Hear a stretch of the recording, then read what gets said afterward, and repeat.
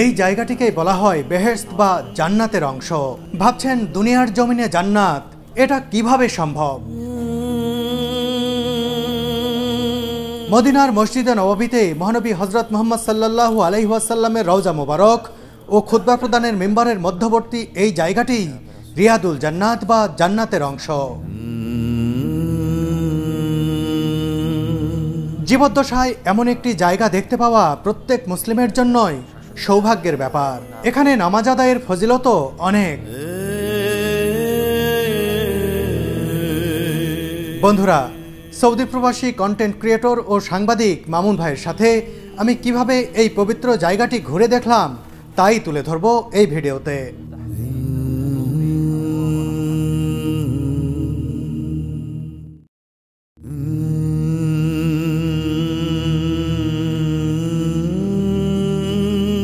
মসজিদে নববী চাঁদের আলোয় এমনই উদ্ভাসিত আজ।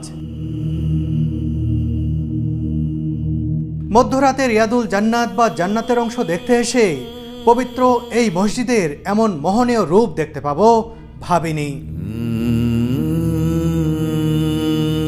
আগেই বলেছি, মদিনা প্রবাসী মামুন ভাই আজ আমাকে নিয়ে যাবেন রিয়াদুল জান্নাতে।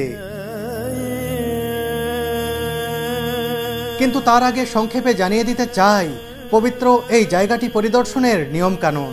আপনি ইচ্ছে করলেন আর জায়গাটি ঘুরে আসলেন, বিষয়টি এমন নয়। সেখানে যাওয়ার আগে থেকেই রেজিস্ট্রেশন করে অনুমতি ও সময় নিয়ে রাখতে হবে। নসুক নামের এই অ্যাপে রেজিস্ট্রেশনের পরেই জানতে পারবেন কোন সময়টি আপনার জিয়ারা তথা পরিদর্শনের জন্য নির্ধারিত হয়েছে।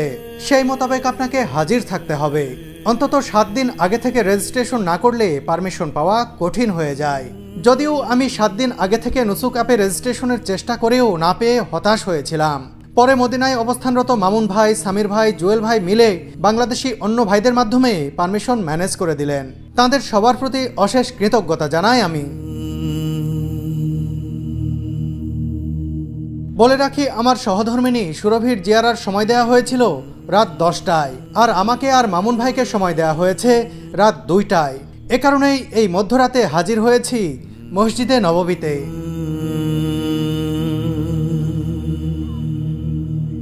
মসজিদে নববী থেকে আজ এমন একটি সুগন্ধির কথা বলছি, যা আপনাকে পবিত্র কাবা শরীফের কথা মনে করিয়ে দিতে পারে।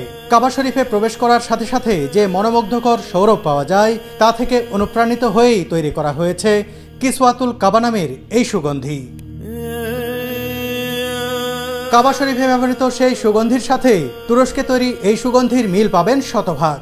এটি সম্পূর্ণ হালাল ও অ্যালকোহল মুক্ত অরিজিনাল কিসওয়াতুল কাবা কিনতে যোগাযোগ করুন ওয়াজির সাথে। এটি আপনার ঘর অফিস রুম কিংবা মসজিদে এনে দিতে পারে দীর্ঘস্থায়ী মোহনীয় পরিবেশ। আজ মদিনায় অনেক শীত, ঠান্ডা লেগে আমার গলার স্বরও বসে গেছে। তাতে কি রিয়াদুল জান্নাত দেখতে পাবো? এটা ভাবতেই ভালো লাগছে। আমার পিছনে রয়েছে রওজা মোবারক, দুনিয়ার শ্রেষ্ঠ মানব যেখানে সাহিত্য রয়েছেন। আমরা সেই জায়গায় আজকে দুই রাকাত সালাত আদায় করব, যেটাকে দুনিয়ার জান্নাত বলা হয়, রিয়াজুল জান্না বা জান্নাতের টুকরো। আমরা সেই জায়গায় সালাত আদায় করব, সাথে সাথে আমরা রওজা শরীফ সালাম দেব। আমাদের রওজা শরীফ সালাম দিতে কোনো ধরনের পারমিট লাগবে না, সেটা হলো এক নাম্বার গেট দিয়ে আমাদের এইখানেই, এই পাশে গেটটা রয়েছে, এখান দিয়ে প্রবেশ করব এবং এই এক নাম্বার গেট দিয়ে সোজা সালাম দিয়ে আমরা একচল্লিশ নাম্বার গেট দিয়ে বের হয়ে যাব। সালামের শুরুতে আমরা প্রবেশে মসজিদে উদ্খোলের যে দোয়াটি রয়েছে, এই দোয়াটি পড়ব। এরপরে দুরুদ পড়তে পড়তে আমরা রজা শরীফের কাছাকাছি যাব। মামুন ভাইয়ের সাথে নবজি সাল্লাহু আলহিউসাল্লামের রওজা মোবারক জিয়ারতের জন্য এগিয়ে যাচ্ছি। রওজা মোবারকে সালাম দিয়ে বেরিয়ে আসার পরই রিয়াদুল জান্নাতে প্রবেশের লাইনে দাঁড়াতে হবে।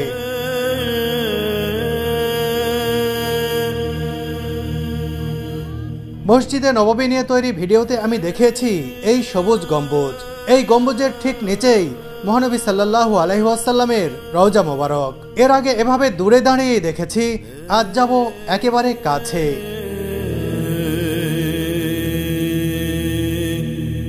আমাদের পিছনে যে গেটটি দেখা যাচ্ছে, আমরা এই গেটটি দিয়ে এখন প্রবেশ করব এবং ওই দিক থেকে ঘুরে এসে আমরা এক নম্বর গেট দিয়ে প্রবেশ করব। আর দুনিয়ার শ্রেষ্ঠ জায়গা শান্তির জায়গা মদিনা শহর যেখানে সবাই এসে যেই সবুজ গম্বুজ আমরা সবসময় টিভিতে এবং মোবাইলের স্ক্রিনে দেখে থাকি তা সরাসরি আমরা দেখতে পাচ্ছি। এখন নিজ চোখে দেখছি আমরা। মাশাআল্লাহ তাবারাকাল্লাহ। এবং ভিতরে গেলে মনে হবে যে আমরা হয়তোবা জান্নাতের কোনো দরজা দিয়ে প্রবেশ করছি। এত সুন্দর এত ভালো লাগবে।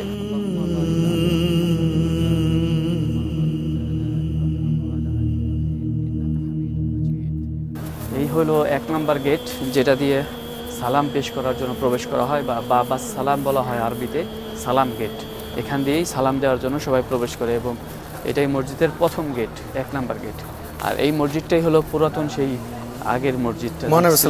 জি। সেই সময়? সেই সময়কার মসজিদ। মানে বাউন্ডারিটা সেই পুরাতন সময়ে পরবর্তীতে এটা পুনর্নির্মাণ করা হয়েছে। মিশরীরা করেছে এবং তুর্কি শাসন আমলে হয়েছে। এরকমভাবে ধাপে ধাপে পুনর্নির্মাণ হয়েছে। এটি শুধু পুরনো মসজিদ কিংবা রওজা মোবারকের দরজা নয়, একেবারেই জান্নাতের দরজা। এই দরজা অতিক্রম করতেই মনটা অন্যরকম এক শীতলতায় আচ্ছন্ন হলো। এটাকে বলা হয় জিদারে কেবলা বা কেবলা দেওয়াল। এটার যে কারুকাজ, এটা করোনার পরে সুন্দর করে সব হাতে লেখা হয়েছে। এই কারুকাজগুলো সম্পূর্ণ হাতে লেখা। এবং এটার নাম হলো জিদারে কিবলা বা কিবলা দেওয়াল। এই দিকে কিবলা এই জন্য এটা কিবলা দেওয়াল বলা হয়। এবং আমরা যাচ্ছি সামনের দিকে রিয়াজুল জান্না যে দুনিয়ার যে জান্নাতের টুকরো, যে জায়গাটুকু বলা হয়, সে, সেই জায়গার সামনে। এবং যেখান থেকে রসুল সাল্লাহ আলাইসাল্লাম খুতবা দিতেন, যেখান থেকে কিয়ামতের দিন হাউজে কাউসারের পানি বের হবে, সেই জায়গাটি মেম্বারে রাসুল সাল্লাহ আলাইসলাম সামনে যে মেম্বারটি দেখা যাচ্ছে, এই ছোট্ট মেম্বারটি এখানে দাঁড়িয়ে একটু সুন্দর করে ভিডিও নেন। এটাই হলো মেম্বারে রসুল। রসুল সাল্লাহ আলাইসলাম এখানে দাঁড়ায় খুতবা দিতেন এবং বর্তমানেও শেখ এখানে দাঁড়ায় খুতবা দেয় এখান থেকেই হাউজের কাউসারের পানি বের হবে। কিয়ামতের সময়। এটাই কি রিয়াজুল এই- এইটাই রিয়াজুল জান্নার অংশ। এখান থেকেই শুরু।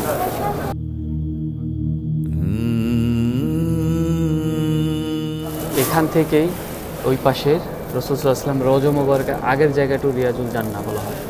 এই পাঁচটা? যে এই এখান থেকেই ওই রসুলাম রজ মোবারক রসুল আসলাম বলেছেন, আমার ঘর থেকে মিম্বারের যে মধ্যবস্তি জায়গাটু, সেটাই হলো রিয়াজুল জান্না আর সেটাই শুরু এখান থেকেই এই মিম্বার, এখান থেকে রসুল সাল্লাহ আসলাম রজ মোবারক সামনে, ওইখান ওই পর্যন্ত মাঝখানে জায়গাটা হলো রিয়াজুল জান্না আর এই পাশে মেহরাবে মেহরাবে রসুল, তিনি যেখানে দাঁড়ায় নামাজ পড়াইতেন, সেটা হলো মেহরাব রসুল। আর আমরা এখন পেছন থেকে দেখছি, এটা তো পরে সামনে থেকে দেখব। সামনে এটাই হলো জান্নাতুল রিয়াজুল জান্না দুনিয়াতে যে জান্নাত টুকরো, এই জায়গাটাই জান্নাতের বাগান বলা হয়। আমরা পরবর্তীতে এখানে প্রবেশ করব। এখন সালাম দেওয়ার জন্য আমরা যাচ্ছি।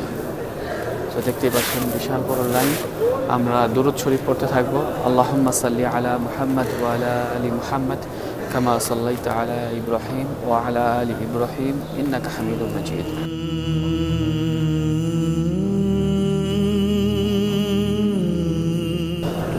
আলা ইব্রাহিম ইন্নাকা হামিদুম মাজিদ। আমরা এইভাবে দূরত পড়তে পড়তেই সামনে যাব এবং সামনেই দেখা যাচ্ছে দুনিয়ার শ্রেষ্ঠ মানব পৃথিবীর শ্রেষ্ঠ মানব পেয়ারা নবী মোহাম্মদ রসুল্লাহ সাল্লাহ আলাইসলামের রজা মোবারক। এই দেয়াল থেকে এই পাশে যে জায়গাটুকু এটুকু হলো রিয়াজুল জান্নাহ আস্তে আস্তে আমরা এগিয়ে যাচ্ছি রসুল্লাহ সাল্লাহু আলহি ওয়াসাল্লামের রওজা মোবারকের দিকে। এখনকার এই অনুভূতি প্রকাশের ভাষা সত্যি আমার জানা নেই।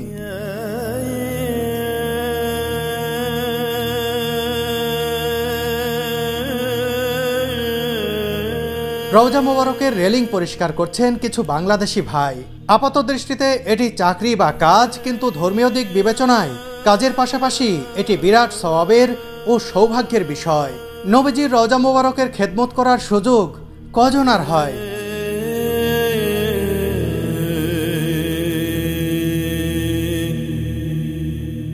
প্রথম গ্রিল, এটা খালি। আমরা দ্বিতীয় গ্রিলের প্রথম দিকে দাঁড়াবো।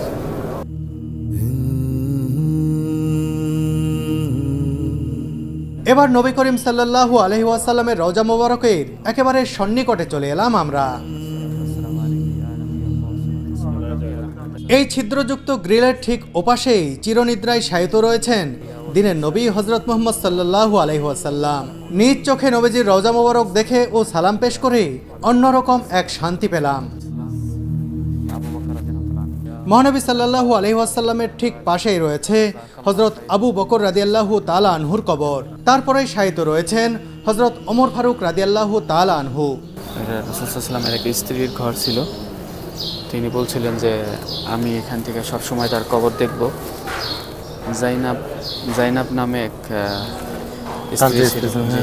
সে বলছিল যে আমি এখান থেকে সবসময় দেখব। কিন্তু পরবর্তীতে এখানে এই রাস্তা করার জন্য ঘরটা ভাঙার একটা ইয়ে আসে। তখন তিনি এখান থেকে যাইতে চাইছিল না এবং বলা হয়েছিল যে আমাকে যদি এরকম জানালার ব্যবস্থা করে দেওয়া হয় যে আমি ওখান থেকে রসুলামের রোজা মুবারক দেখতে পারব তাহলে আমি এখানে এই এই জায়গাটা ছাড়বো আর কি। তার ঘরটা ছিল এখানে। আচ্ছা তো তখন তার ভাইয়ের ঘর পাশে ছিল। তখন এই জানলাটা খুলে দেওয়া হয় সারা জীবনের জন্য।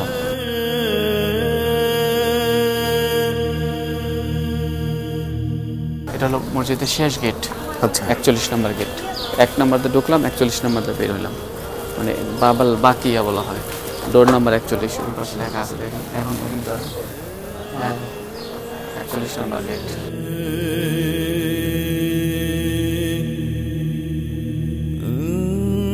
রোজা মোবারক থেকে বেরিয়ে এসেই দেখলাম অনেক মানুষ একসাথে রিয়াদুল জান্নাতে প্রবেশ করছেন। কয়েকটি ধাপ পেরিয়েই এভাবে প্রবেশের সুযোগ মেলে। আমরাও এখন ধাপগুলো অনুসরণ করব। এই গেট দিয়েই সালাম পেশ করে বের হতে হয় এবং অনেকে এখানে দুই রাকাত নামাজ পড়ে।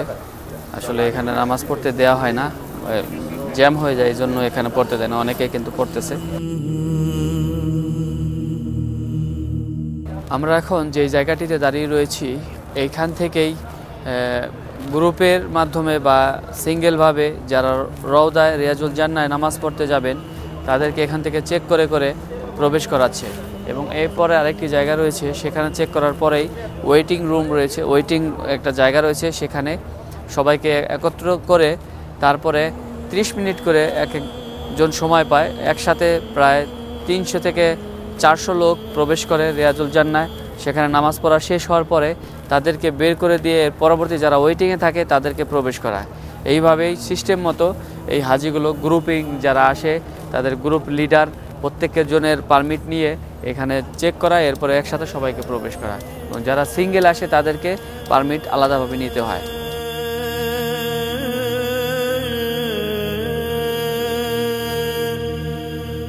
আমাদের পারমিট দেখে ধীরে ধীরে সামনে এগিয়ে যেতে থাকলাম। কিছু দূর এভাবে এগিয়ে যাওয়ার পর আমাদের বসতে দেয়া হবে।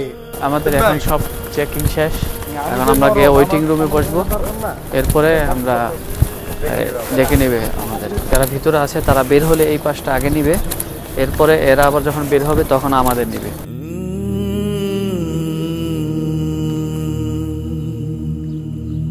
অপেক্ষার সময় দর্শনার্থীদের জমজম কূপের পানি পরিবেশন করা হয়। এখানে অনেকেই এই পানি পান করছেন।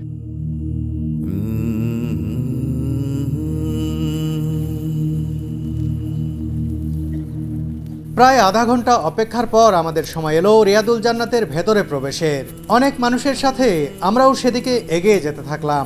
চল্লিশ নম্বর গেটটিকে বলা হয় বাবে জিব্রিল। এই গেট দিয়েই জিব্রাইল আলাইসাল্লাম নবীজি সাল্লাহু আলহি ওয়াসাল্লামের কাছে আল্লাহর ওহি নিয়ে আসতেন।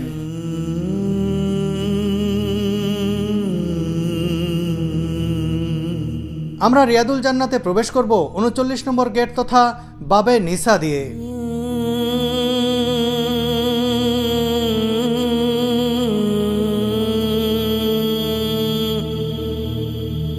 দীর্ঘ প্রক্রিয়া ও প্রতীক্ষার পর অবশেষে আমরা প্রবেশ করলাম রিয়াদুল জান্নাত বা জান্নাতের অংশের ভিতরে। দুনিয়াতে থাকা বেহেস্ত বা জান্নাতের খণ্ডাংশ বলা হয় এই পবিত্র জায়গাটিকেই। এখানে প্রবেশ করার অনুভূতি বলে বোঝানোর মতো নয়। কীভাবে প্রকাশ করব মনের অভিব্যক্তি, তা আসলে আমার অজানা।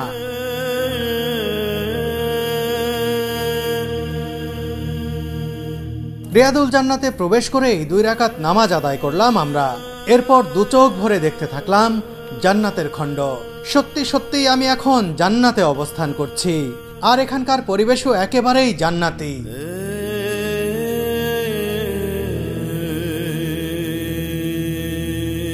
এটি মহানবী সাল্লাল্লাহু আলহিহাসাল্লামের রওজা মোবারক। এর সামনে থেকেই সালাম দিয়ে এসেছি কিছুক্ষণ আগে। এই রওজা মোবারক থেকে এই যে মেম্বার দেখতে পাচ্ছেন, এর মধ্যবর্তী জায়গাটুকুই জান্নাতের অংশ। রাসুলুল্লাহ সাল্লাহু আলহিহাসাল্লাম এই জায়গাটিকেই জান্নাতের অংশ হিসেবে উল্লেখ করে গেছেন। বুখারি হাদিস অনুসারে নবজি সাল্লাহু আলহিহাসাল্লাম বলেন, আমার ঘর তথা বর্তমান দাফনের জায়গা এবং বেম্বরের মাঝের জায়গা জান্নাতের বাগানগুলোর একটি। রিয়াদুল জান্নাতের ভেতরে বেশ কয়েকটি স্তম্ভ বা খুঁটি রয়েছে। এগুলোকে রহমতের স্তম্ভ বলা হয়। উসমানীয় শাসনামলে স্তম্ভের সংস্কারের পাশাপাশি এর গায়ের কারুকাজে স্বর্ণের প্রলেপ দেওয়া হয়েছিল বলে জানা যায়। রাসুলুল্লাহ সাল্লাহু আলহি ওয়াসাল্লামের যুগে এসব খুঁটি ছিল খেজুর গাছের। এই মেহরাবটি সংস্কার করা হয়েছে। এখানে দাঁড়িয়েই ইমামতি করতেন হজরত মোহাম্মদ সাল্লাহু আলহিহাসাল্লাম রিয়াদুল জান্নাতে অবস্থানের আধা ঘণ্টা সময় যেন আধা মিনিটের মতো মনে হলো আমার কাছে। দুনিয়ার বুকে রয়ে যাওয়া একখণ্ড জান্নাত দেখে নিলাম নিজের চোখে। সত্যিই অদ্ভুত এক ভালো লাগায় ভরে গেল মনটা।